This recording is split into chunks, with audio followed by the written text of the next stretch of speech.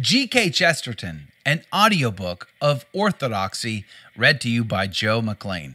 Do you like G.K. Chesterton? Do you love Orthodoxy? Well, I'm excited to say I'm going to be producing every chapter individually and I will be linking them all up in a playlist. So make sure you subscribe and get the playlist. You can share that with friends, that'd be amazing. If you really like it, smash the like button, that'd be also pretty cool. And then if you really, really like it, consider leaving me a little tip in the tip cup, all linked up in the description below. Let's get started with G.K. Chesterton, Orthodoxy, with Chapter 1 An Introduction in Defense of Everything Else. The only possible excuse for this book is that it is an answer to a challenge. Even a bad shot is dignified when he accepts a duel, when some time ago I published a series of hasty but sincere papers under the name of Heretics. Several critics for whose intellect I have warm respect, I may mention specially Mr. G.S. Street, said that it was all very well for me to tell everybody to affirm his cosmic theory, but that I had carefully avoided supporting my precepts with example. Quote, I will begin to worry about my philosophy, unquote, said Mr. Street, quote, when Mr. Chesterton has given us his, unquote. It was perhaps an incautious suggestion to make to a person only too ready to write books upon the feeblest provocation, but after all, though Mr. Street has inspired and created this book, he need not read it. If he does read it, he will find that in its pages I have attempted in a vague and personal way, in a set of mental pictures rather than in a series of deductions, to state the philosophy in which I have come to believe. I will not call it my philosophy, for I did not make it. God and humanity made it, and it made me. I have often had a fancy for writing a romance about an English yachtsman who slightly miscalculated his course and discovered England under the impression that it was a new island in the South Seas. I always find, however, that I am either too busy or too lazy to write this fine work, so I may as well give it away for the purpose of philosophical illustration there will probably be a general impression that the man who landed armed to the teeth and talking by signs to plant the British flag on that barbaric temple, which turned out to be the pavilion at Brighton, felt rather a fool. I am not here concerned to deny that he looked a fool. But if you imagine that he felt a fool, or at any rate that the sense of folly was his sole or his dominant emotion, then you have not studied with sufficient delicacy the rich romantic nature of the hero of this tale. His mistake was really a most enviable mistake, and he knew it. If he was the man that I take him for, what could be more delightful than to have in the same few minutes all the fascinating terrors of going abroad combined with all the humane security of coming home again. What could be better than to have all the fun of discovering South Africa without the disgusting necessity of landing there? What could be more glorious than to brace oneself up to discover New South Wales and then realize with a gush of happy tears that it was really Old South Wales? This, at least, seems to me the main problem for philosophers, and is in a manner the main problem of this book. How can we contrive to be at once astonished at the world and yet at home in it? How can this queer cosmic town, with its many legged citizens, with its monstrous and ancient lamps, how can this world give us at once the fascination of a strange town and the comfort and honor of being our own town? To show that a faith or a philosophy is true from every standpoint would be too big an undertaking, even for a much bigger book than this it is necessary to follow one path of argument, and this is the path that I here propose to follow. I wish to set forth my faith as particularly answering this double spiritual need the need for that mixture of the familiar and the unfamiliar, which Christendom has rightly named romance. For the very word romance has in it the mystery and ancient meaning of Rome. Anyone setting out to dispute anything ought always to begin by saying what he does not dispute. Beyond stating what he proposes to prove, he should always state what he does not propose to prove. The thing I do not propose to prove, the thing I propose to take as common ground between myself and any average reader, is this desirability of an active and imaginative life picturesque and full of a poetical curiosity, a life such as Western man, at any rate, always seems to have desired. If a man says that extinction is better than existence, or blank existence better than variety and adventure, then he is not one of the ordinary people to whom I am talking. If a man prefers nothing, I can give him nothing. But nearly all people I have ever met in this Western society in which I live would agree to the general proposition that we need this life of practical romance, the combination of something that is strange with something that is secure. We need so to view the world as to combine an idea of wonder and an idea of welcome. We need to be happy in this wonderland without once being merely comfortable.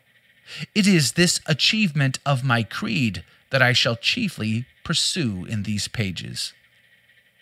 But I have a peculiar reason for mentioning the man in a yacht who discovered England.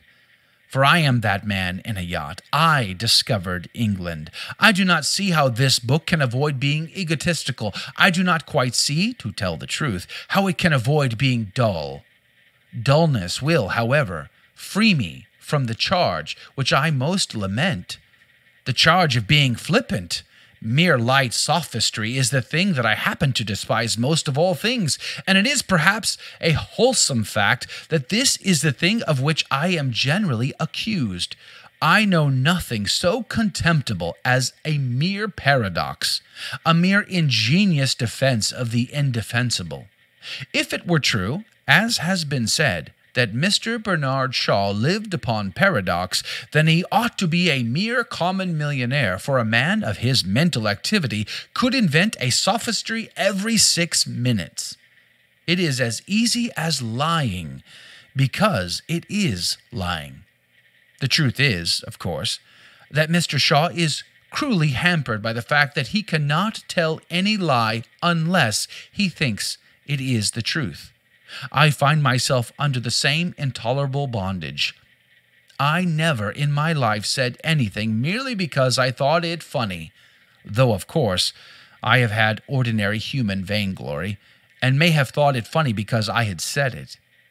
It is one thing to describe an interview with a gorgon or a griffin, a creature who does not exist, it is another thing to discover that the rhinoceros does exist and then take pleasure in the fact that he looks as if he didn't.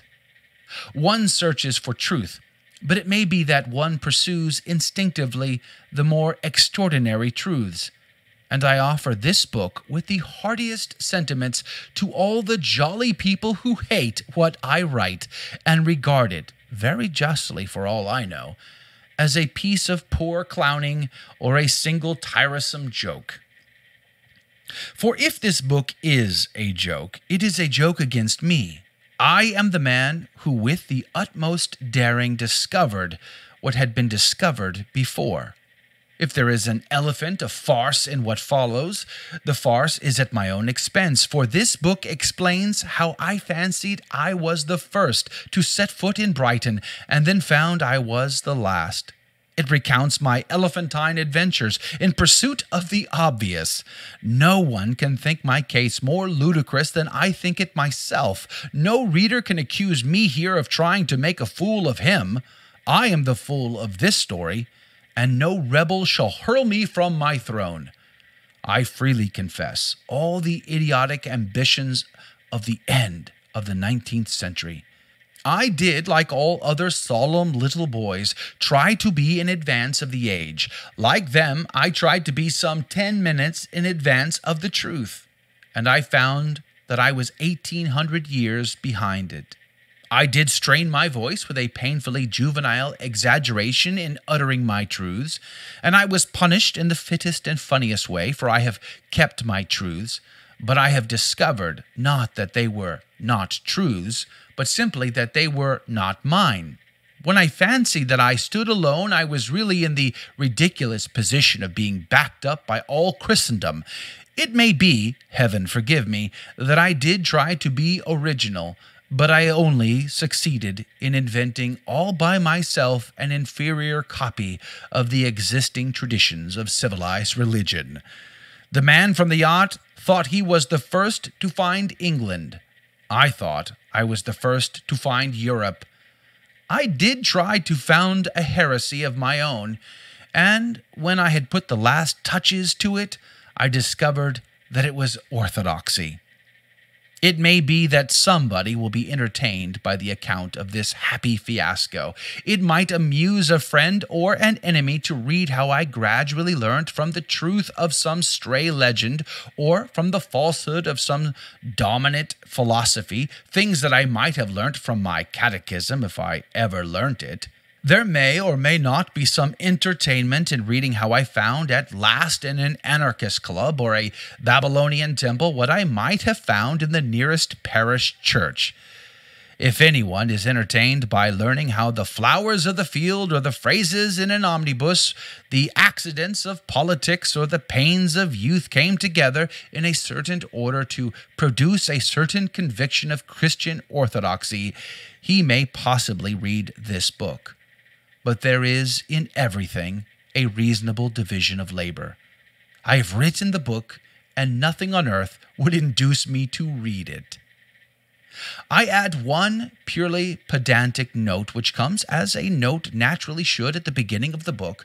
These essays are concerned only to discuss the actual fact that the central Christian theology, sufficiently summarized in the Apostles' Creed, is the best root of energy and sound ethics. They are not intended to discuss the very fascinating but quite different question of what is the present seat of authority for the proclamation of that creed. When the word orthodoxy is used here, it means the Apostles' Creed, as understood by everybody calling himself Christian until a very short time ago, and the general historic conduct of those who held such a creed. I have been forced by mere space to confine myself to what I have got from this creed. I do not touch the matter much disputed among modern Christians of where we ourselves got it. This is not an ecclesiastical treaty, but a sort of solvenly autobiography. But if anyone wants my opinions about the actual nature of the authority, Mr. G.S. Street has only to throw me another challenge, and I will write him another book. Chapter 1 of G.K. Chesterton's Orthodoxy, read to you by Joe McClane. Thank you again for listening. If you want chapter 2, stay tuned. It's coming up next in the playlist. I'll be putting them out on a hopefully a fairly regular basis anyway. Praise be to God. Again, like, subscribe, share. That helps me out a lot. And consider a little tip in the tip cup linked in the description below. God love you. God bless you. We'll see you in chapter 2.